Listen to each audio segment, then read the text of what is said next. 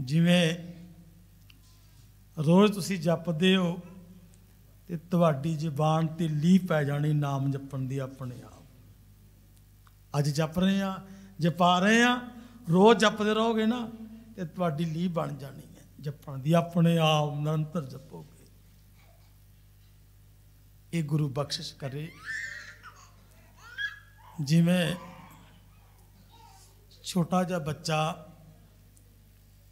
ਪਿਤਾ ਦੀ ਉਂਗਲ ਫੜਦਾ ਹੈ ਤੇ ਪਿਤਾ ਨੂੰ ਕਹਿੰਦਾ ਵੀ ਮੈਨੂੰ ਮੇਲੇ ਵਿੱਚੋਂ ਆ ਵੀ ਲੈ ਕੇ ਦਿਓ, ਮੈਂ ਆ ਵੀ ਖਾਣਾ ਹੈ, ਮੈਂ ਆ ਵੀ ਲੈਣਾ ਹੈ।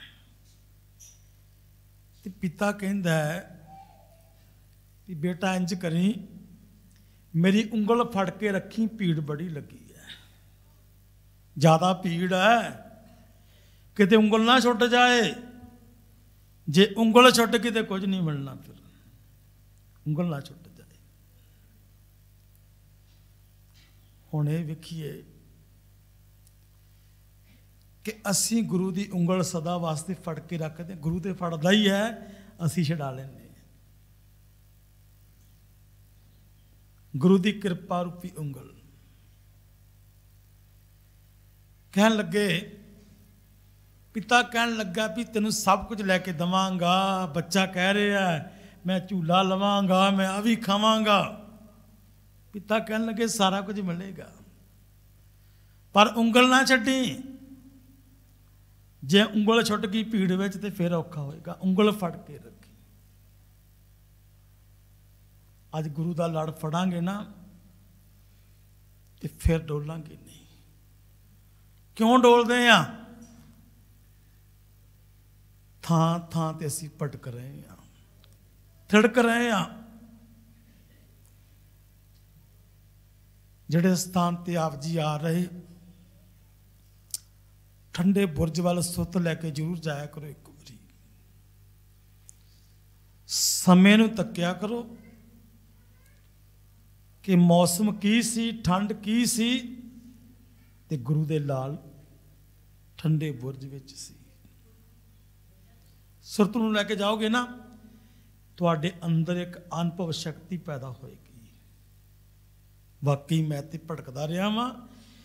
ਇੱਥੇ ਇੱਕ ਆਤਮਿਕ ਅਡੋਲਤਾ ਪੈਦਾ ਹੁੰਦੀ ਹੈ। ਜ਼ਮੀਰ ਜਾਗਦੀ ਇੱਥੇ ਆ ਕੇ ਅੰਦਰ ਦੀ ਵੀ ਨਹੀਂ ਡੁੱਲਣਾ।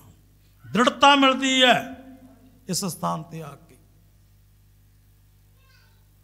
ਤਾਂ ਹੀ ਪਿਤਾ ਕਹਿਣ ਲੱਗਾ ਕਿ ਬੱਚਾ, ਬੇਟਾ ਤੈਨੂੰ ਸਭ ਕੁਝ ਲੈ ਦਿਆਂਗਾ, ਪਰ ਗੱਲ ਉਂਗਲ ਫੜਨ ਦੀ ਹੈ।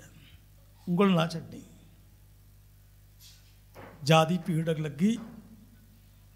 ਬੱਚੇ ਦਾ ਧਿਆਨ ਖਾਣ ਵਾਲੀਆਂ ਚੀਜ਼ਾਂ ਵੱਲ ਚਲੇ ਗਿਆ। ਆਪਣੇ ਆਪ ਹੱਥ ਮਾਰ ਲੱਗ ਪਿਆ ਵੀ ਆ ਵੀ ਵੇਖਾਂ ਆ ਵੀ ਵੇਖਾਂ। ਤੇ ਜਿਆਦੀ ਭੀੜ ਹੋਣ ਕਾਰਨ ਪਿਤਾ ਦੀ ਉਂਗਲ ਛੁੱਟ ਗਈ। ਉਂਗਲ ਛੁੱਟ ਗਈ। ਤੇ ਫਿਰ ਕੀ ਹੋਇਆ? ਜਦੋਂ ਉਂਗਲ ਛੁੱਟ ਗਈ ਤੇ ਬੱਚਾ ਰੋਣ ਲੱਗ ਪਿਆ।